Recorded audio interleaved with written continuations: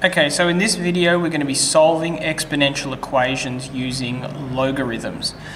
Uh, this is something that you haven't been able to do in the past without your calculator or um, unless they were really, really uh, simple questions. Now you're going to get a technique for solving these really, really simply. Okay, so this is the sort of question you might get asked.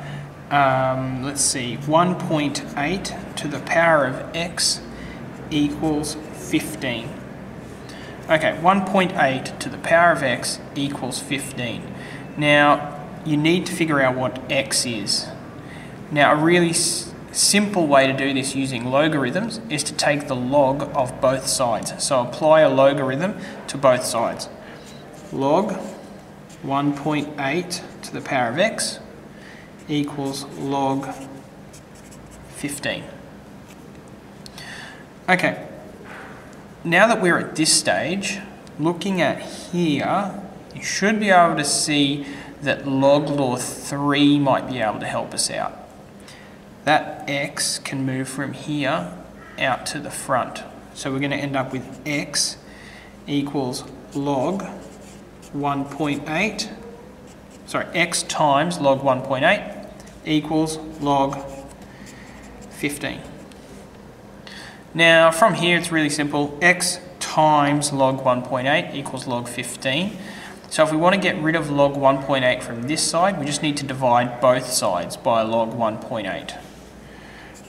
Inevitably that's going to move that log 1.8 from this side down to this side.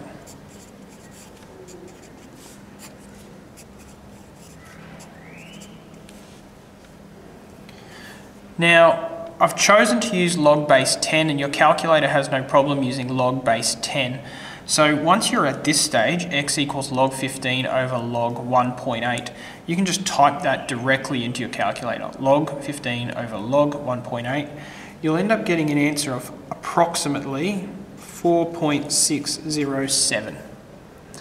So x is approximately equal to 4.607.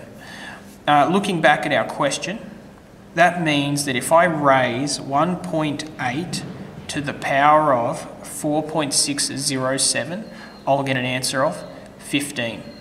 This is going to be really, really useful solving uh, exponential equations of all sorts.